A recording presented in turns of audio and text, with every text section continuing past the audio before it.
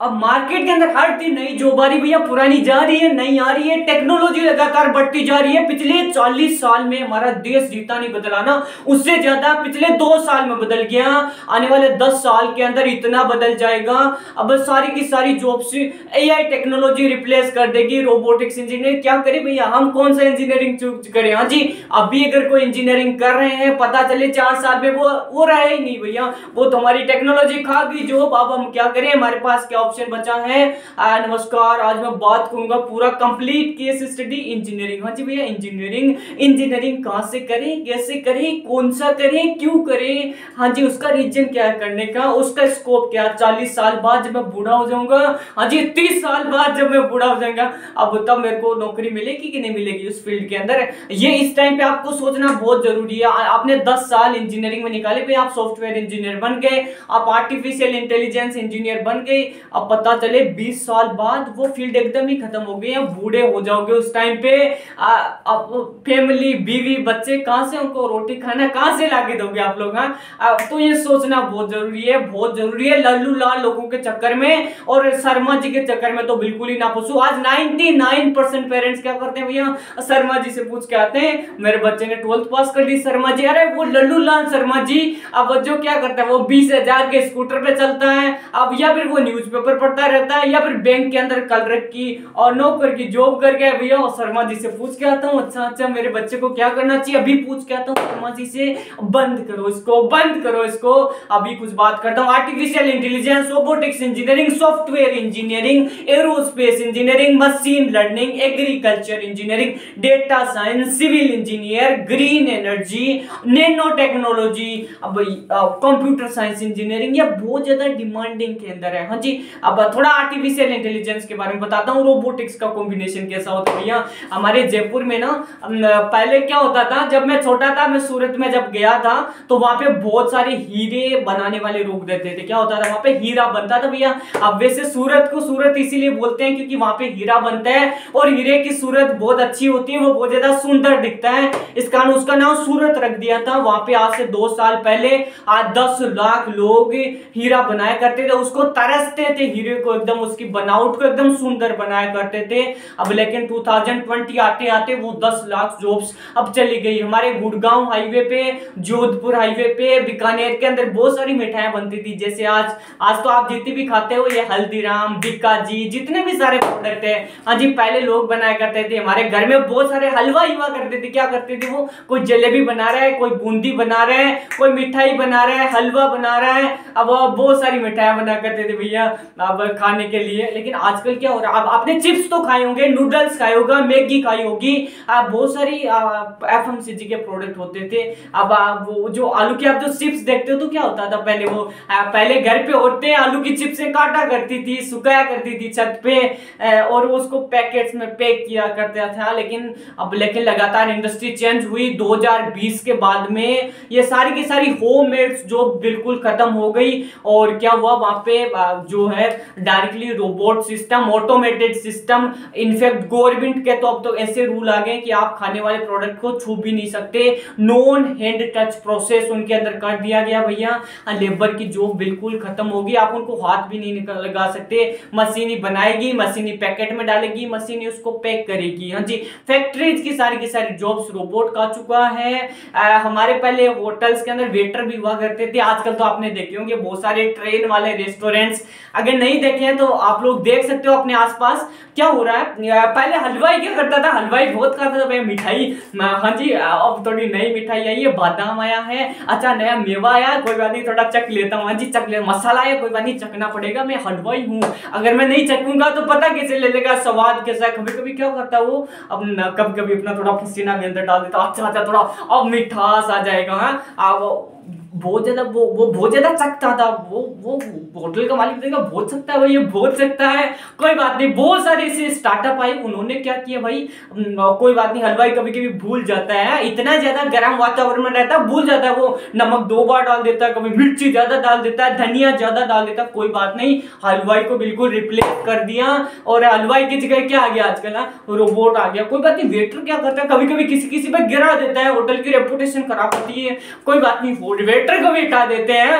अब वेटर की जगह, आपकी जो डाइनिंग टेबल होती है डाइनिंग टेबल उसको बीचों बीच रेलगाड़ी लगा दी भैया, और उसको पीएनआर सिस्टम दे दिया, जो भी कस्टमर है, जिस भी कुर्सी पर बैठा है, उसका पीएनआर सिस्टम है ट्रेन के पास, और जहाँ भी ट्रेन के अंदर खाना लोड किया जाता है, उसके ऊपर रखा जाता है, उसके ऊपर ट्रेन का जो भी पीएनआर नंबर है, वो डाल देती भैया, उस इतने नंबर पीएनआर पर जाकर रुक जाना तेरे को, और ट्रेन आके वहीं पर रुकती है कस्टमर खाना उतारता है ट्रेन वापस चली जाती है वेटर का जो भी बिल्कुल खत्म, बिल्कुल एकदम बर्बाद वेटर पहले मेरे को ऐसा लगता था जब मैं छोटा था, भाई, और कुछ नहीं कर पाया, कोई बात नहीं, मोमोज बेच लूँगा। हाँ अब मोमोज बहुत चलते हैं, दिल्ली के अंदर, पटियाला के अंदर, जयपुर के अंदर, है मोमोज खा लूँगा मैं, बना लूँगा, और फुचका बना लूँगा पानी पूरी बेच लूँगा, लेकिन आजकल तो वो भी मेरा सपना अधूरा रह गया, क्या हुआ उसके अंदर? अब बहुत सारे इंजीनियर ने क्या किया?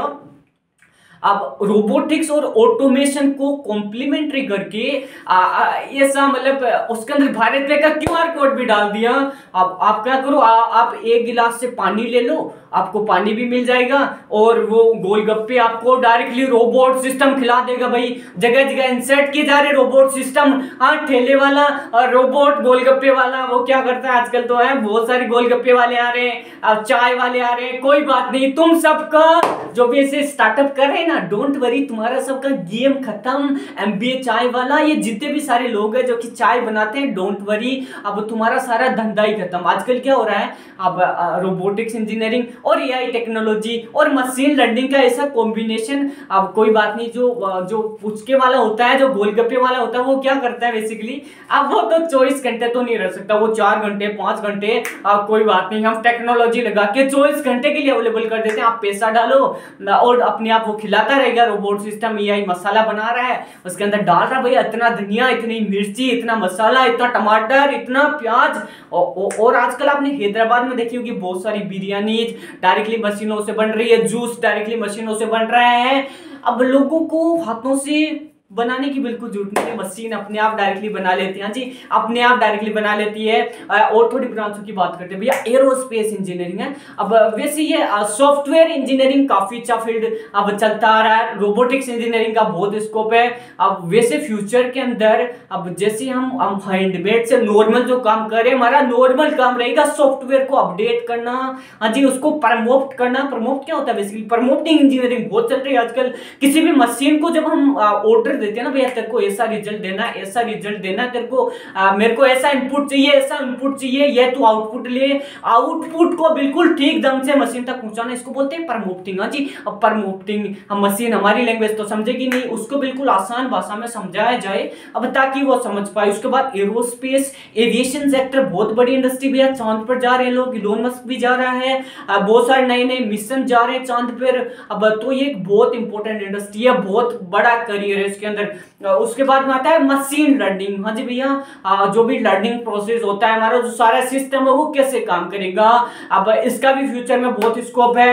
उसके बाद में आता है हमारा एग्रीकल्चर हाँ जी एग्रीकल्चर में तो इतना ज़्यादा इनोवेशन हो रहा है। आ, पानी लगातार खत्म होता जा रहा है। साइंटिस्ट क्या कर रहे हैं? साइंटिस्ट बिना अब बिना पानी के चलने वाले खेत बना रहे अब पानी डालने की ज़रूरत ही नहीं है। आप बीज बो आप बीज बो और और और क्या होगा?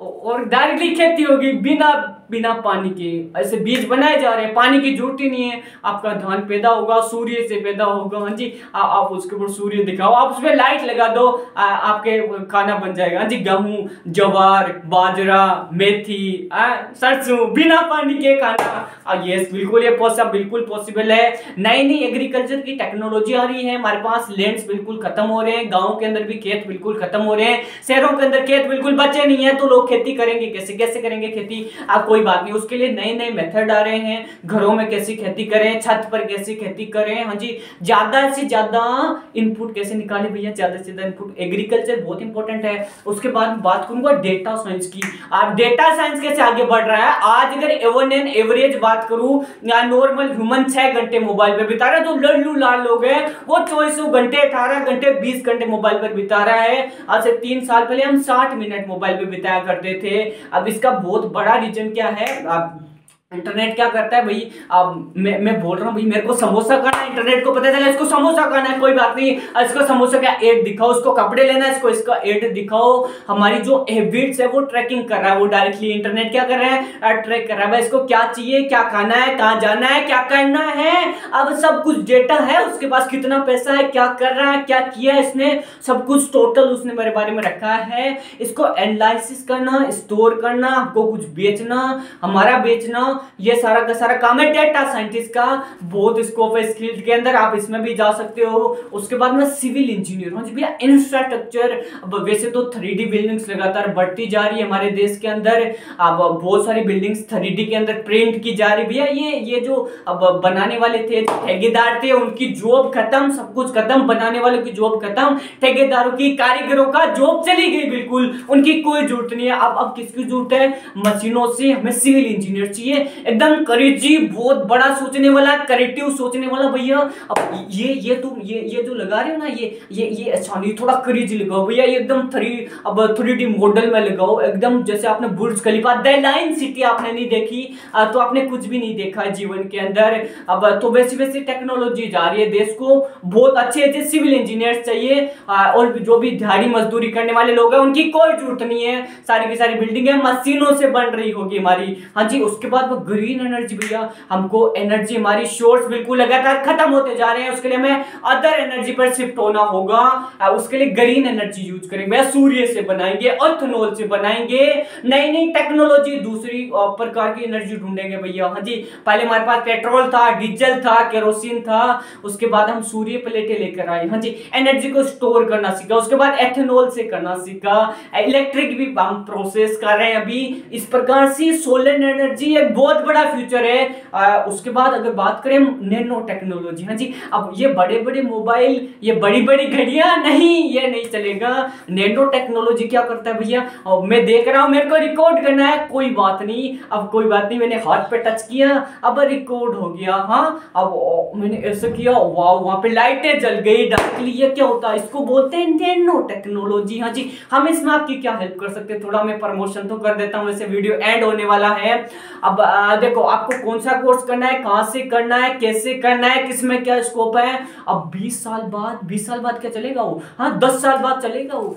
10 साल बाद आपकी उम्र बहुत हो जाएगी। हाँ जी, शादी हो जाएगी तुम्हारी 10 साल बाद। अब कहाँ से पैसा लेकर आओगे? अब बीवी, बच्चे घर वाले बूढ़े हो चुके होंगे। सारी की सारी जिम्मेदारियाँ तुम्हारे ऊपर होगी। क्या करोगे भैया उस टाइम पे? क्या करोगे तुम? कुछ कुछ नहीं बचेगा। इसलिए अभी है टाइम पड़े हो किस चक्कर में? कोई नहीं है चक्कर में तुम्हारे यहाँ इसलिए हमारा काउंसलिंग प्रोग्राम ज्वाइन कर सकते हो आप। इंडिया का नहीं, पूरे वर्ल्ड का नंबर वन काउंसलिंग प्रोग्राम हम आपके लिए लेकर आए हैं। स्पेशली इंजीनियरिंग वाले बच्चों के लिए। हाँ जी, आपने इंडिया के सिलिकॉन वैली का नाम तो सुना नहीं होगा। हाँ जी भैया इंडिया का सिलिकॉन वैली क्या है? हाँ नहीं सुना, कोई बात नहीं, हमारा नया वीडियो है। इंडिया का सिलिकॉन वैली उसको ज़रूर से जाके आप देखो भैया। इंडिया के सिलिकॉन वैली में आप कैसे एडमिशन ले सकते हो? You want to do your startup आपको अपना स्टार्टअप स्टार्ट करना। कैसे करोगे? कहाँ से करोगे? फंडिंग मिलेगी कि नहीं मिलेगी? उसके लिए भी कॉलेज बहुत मैटर करता भैया। आपको अपना स्टार्टअप करना है टेक्नोलॉजी में ए डालना उसमें artificial intelligence machine learning data learning है आप आप, आप चले गए बिहार झारखंड राजस्थान है वहाँ पे आपको ना इंजीनियर मिल रहा ना इन्वेस्टर मिल रहा अब कुछ भी नहीं मिल रहा भैया चार साल बर्बाद होगी। अब इसके लिए बहुत ज़रूरी है। इसके लिए क्या करना पड़ेगा? आपको स्टार्टअप कैसे करोगे? हमें चार साल की इंजीनियरिंग बिताओगे कैसे? या फिर लल्लू लाल कॉलेज लल्लू लाल प्रोफेसर के साथ ऐसे अपना जीवन गुजार दोगे। अब डोंट वरी इसके लिए मैं आपके लिए लेकर आया हूँ ना पूरा काउंसलिंग प्रोग्राम एक सिर्फ़ और सिर्फ़ पिज्जा के प्राइस के अंदर जिसके अंदर हम आपसे लाइव बात भी करते हैं। हाँ जी, आपके लाइव सेमिनार भी कराते हैं, एकदम भरपूर टू के अंदर केस स्टडी वीडियो देखते हैं। अब जो कि इस दुनिया में आपको कोई भी नहीं दे सकता और वो जो आजकल बहुत सारे डल्लू लाल काउंसिलर आ गए मार्केट में क्या करते हैं? कोई बात नहीं, तुम तुम हमारे सेमिनार में आओ। हाँ जी, फ्री सेमिनार है। अब घर वाले सोचते हैं, भैया, फ्री है, कोई बात नहीं, चलते हैं, फ्री सेमिनार है, चलते हैं, उसके अंदर वो जाते हैं भैया फ्री सेमिनार में। उसमें आपको थोड़ा थोड़ा बताते हैं अच्छा ये कॉलेज है, ये बिहार में है, इसका कट ऑफ़ इतना है, आप इसके अंदर ले सकते हो भैया। बिहार में हाँ झारखंड में हाँ राजस्थान में, अरे, पीने के लिए पानी तो मिलेगा वहाँ पे प्लेसमेंट तो छोड़ो आप, है। हाँ जी, क्या क्या मिलेगा वहाँ पे? कुछ मिलेगा? नहीं, चार साल बाद नौकरी दे कोई कंपनी नहीं कोई कुछ नहीं देगा, और वो आपको प्लान भी भेज देगा भैया। हमने आपको देखो कितना अच्छा समझाया कोई बात नहीं। इससे अच्छा अगर आपको ज़्यादा समझना है ए, आ, आप हमारा पैसे वाला प्लान ले लो। उसके अंदर हम आपकी कस्टमाइज काउंसलिंग करेंगे आपके कट ऑफ़ के पे एडमिशन दिलाएँगे ऐसे करेंगे वैसे करेंगे कंप्लीट करा देंगे। और अगर तुम मेरे प्राइवेट मेरा कोड यूज़ करके प्राइवेट कॉलेजों में एडमिशन लोगे तो तुमको आधा डिस्काउंट भी मिलेगा। नहीं विश्वास नहीं करना उस पर लल्लू लाल है वो है। पागल बना रहा है तुमको। अब फिर बोल रहा हूँ मैं, फिर बोल रहा हूँ मैं हाँ कोई नहीं है टक्कर में, पड़े हो किस चक्कर में? दुनिया का सबसे अच्छा अफोर्डेबल काउंसलिंग प्रोग्राम इंजीनियरिंग वालों के लिए इससे अच्छा आपको कहीं नहीं मिलेगा। ज़रूर से जाके आप ज्वाइन कर सकते हो लिंक डिस्क्रिप्शन में। Thank you so much